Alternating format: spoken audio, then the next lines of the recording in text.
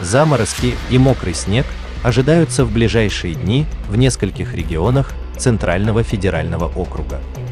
Росгидромет выпустил штормовое предупреждение с 5 по 9 мая в Москве, Московской, Тверской, Смоленской, Калужской, Ярославской, Костромской областях. Синоптики прогнозируют там до минус 6 градусов ночью и утром. Температура ниже нуля ожидается также во Владимирской, Ивановской, Рязанской и Тульской областях. Майские снегопады уже идут в Санкт-Петербурге и Твери. Утром 5 мая Санкт-Петербург накрыла туча, на фоне низкой для климатической нормы температуры воздуха начался снег.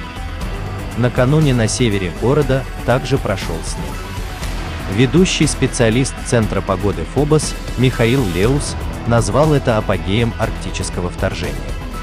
В Московской области в пятницу, 5 мая, выпал снег.